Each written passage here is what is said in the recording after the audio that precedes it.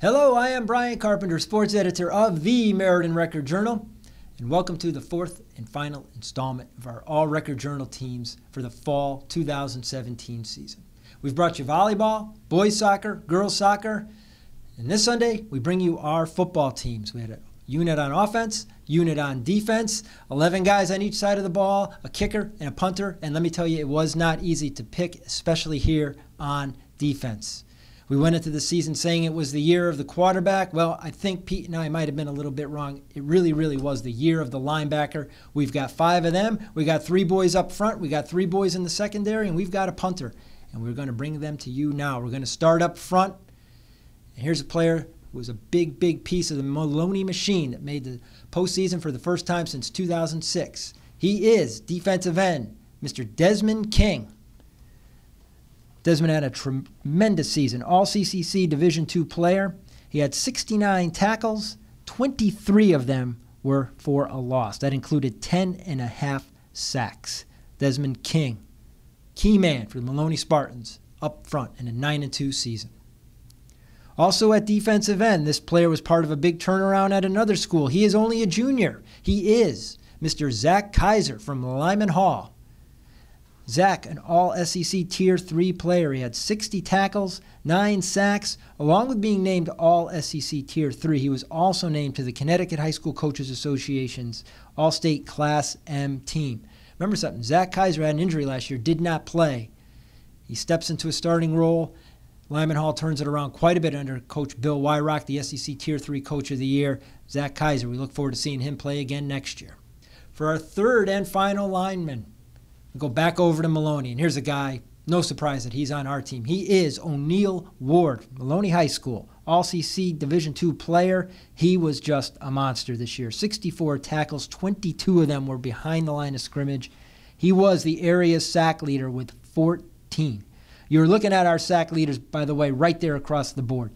O'Neill Ward with 14, Desmond King, 10 and a half, Zach Kaiser with nine. There was another one another guy who is on that list, and we're going to have him lead off our linebacker list as we go there. Again, we picked five linebackers. It turns out these five boys were the leading tacklers on their team. We started Southington. Not only was this guy his leading tackler, he was up there in the sack list. He is senior Ian Hall.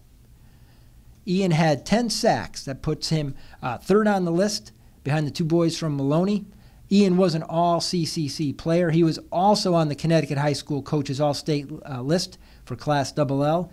He led the Blue Knights with 94 tackles. Stevie Daniels is doing the stats over there, so you know those 94 tackles are legit. 11 and a half were for a loss. As mentioned, Ian had 10 sacks. Also from linebacker, over at Cheshire, on the other side of the line at the Apple Classic, the leader for the Rams, Mr. Nick Nelson.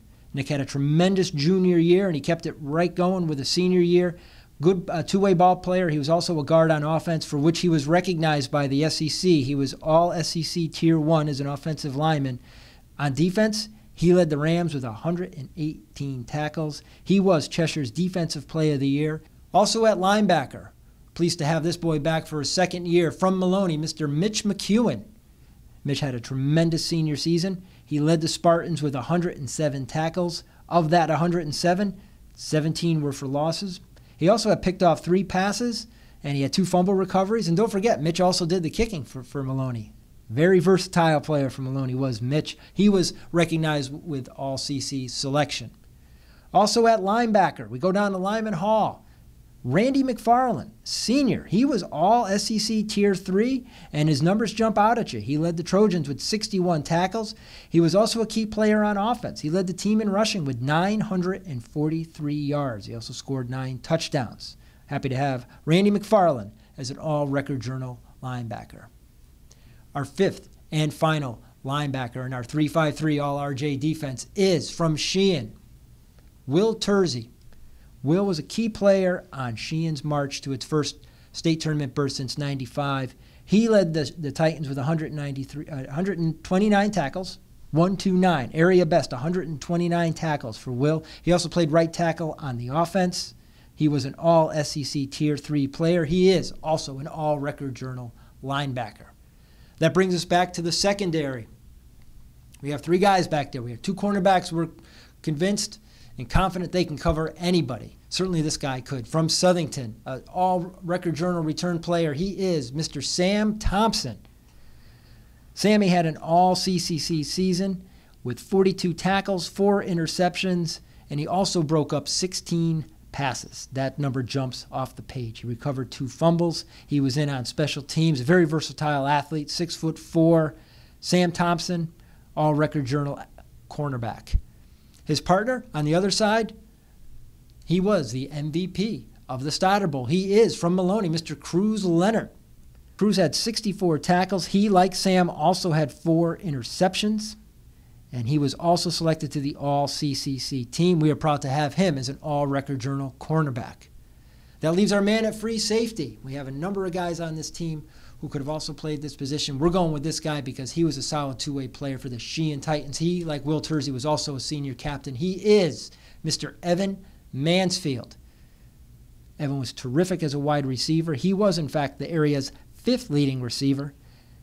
We're going to play him at free safety, where he was an all SCC Tier 3 player. He had 72 tackles on offense. For the record, 44 catches for 596 yards and eight touchdowns. And he was also senior captain, and he was a good one.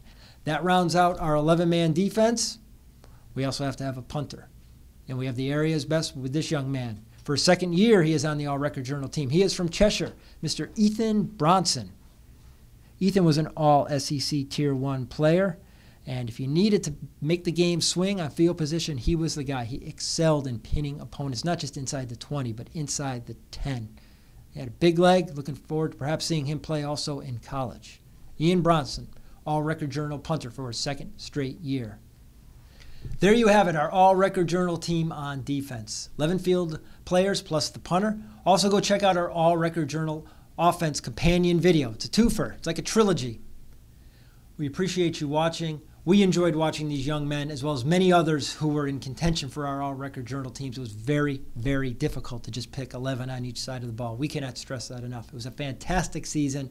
We had two teams make it to the playoffs. Most of our teams had winning records. Thank you for watching. I am Brian Carpenter, sports editor of the Meriden Record Journal.